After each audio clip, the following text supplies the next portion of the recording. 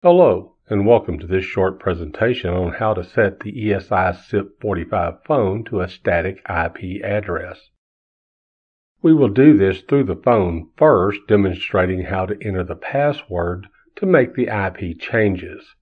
Then we will show how to determine the IP address of the phone without needing a password if the network does provide DHCP services, and then connect with a browser. All ESI SIP phones have the default login of admin, A-D-M-I-N, all lowercase, and the password is SIP STN at ESI. That is uppercase S-I-P, then lowercase S-T-N, enter the at sign, followed by uppercase E-S-I. Okay, on the phone you would press the menu exit button and use the scroll key to go to the network settings, and then press the select button. You will then be asked for the password. To enter the password, start by pressing the 7 key till you see an uppercase S. Then press the 4 key till you find an uppercase I. Back to the 7 till you find an uppercase P. Wait just long enough for the character to change to an asterisk and then continue by pressing the 7 key again to find a lowercase s. Press the 8 key for a lowercase t, then the 6 key for a lowercase n. Now you will need to press the 1 key until you find the at sign.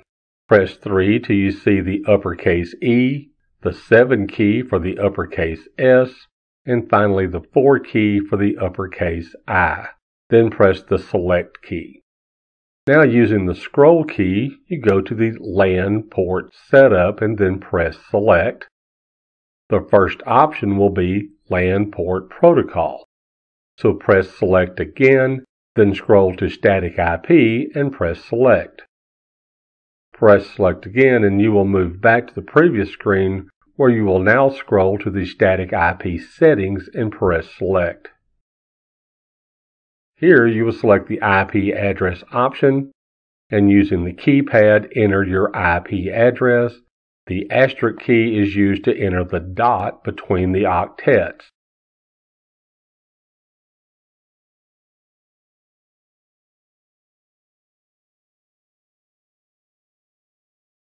When you are finished, press the select button again.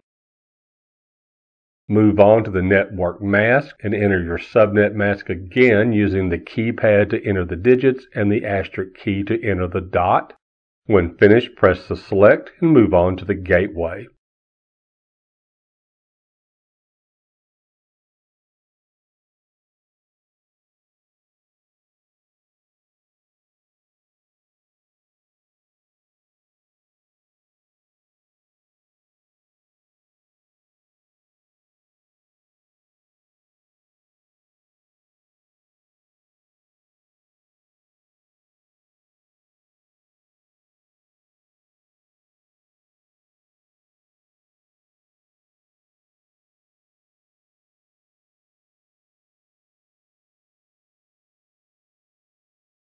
When you are finished, you can use the menu exit key to move back to the previous screen, where if needed, you can also modify the DNS information or just scroll down to the Save option and press Select.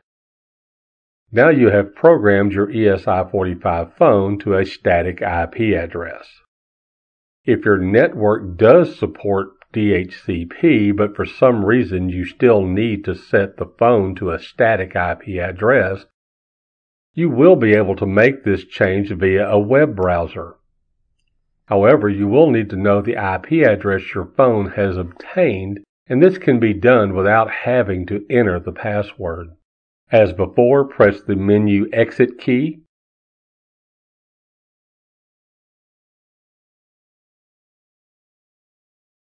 But this time, scroll to the System option and then press Select. Scroll to the Network option, press Select, and use the scroll key to display all of the IP settings of your phone.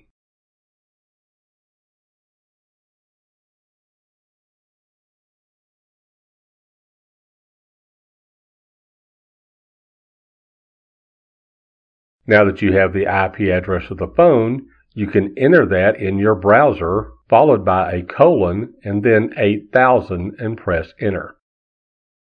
Once you have entered this information, you will get a login screen where you will use the username admin, A-D-M-I-N, all lowercase, then enter the password, which is the same as we covered earlier in this video, uppercase S-I-P, lowercase S-T-N, the at sign, and then uppercase ESI, and click Login.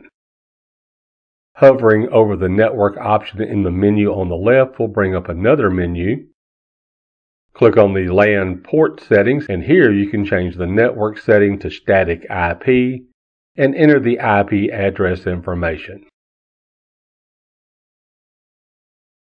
This concludes this short video on changing the ESI45 SIP phone from the factory default of DHCP to use a static IP address. I hope this information has been informative for you, and I would like to thank you for watching.